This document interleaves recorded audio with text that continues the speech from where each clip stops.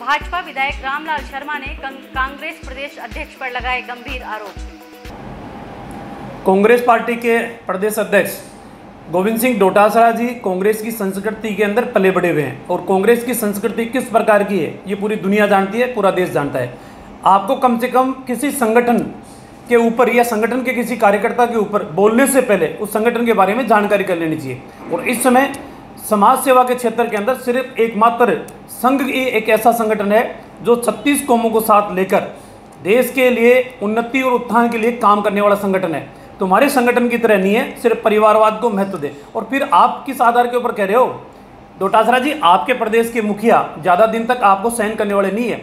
इससे पहले भी किसान परिवार से जितने भी पार्टी के अध्यक्ष रहे डॉक्टर चाहे चंद्रभान जी हो, चाहे नारायण सिंह जी हो, चाहे सचिन पायलट जी हो, और चाहे आप हो ज़्यादा लंबा सफ़र आप तय करने वाले नहीं हो, इसलिए ज़्यादा अति उत्साहित होकर और इस तरीके की बयानबाजी करने की आवश्यकता नहीं है। आप अपनी पार्टी के अध्यक्ष हो तो पार्टी के भीतर क्या चल रहा है, उसको संभालने का काम करो। दूसरों को इस तरीके से लांछन करने की आवश्यकता नहीं है।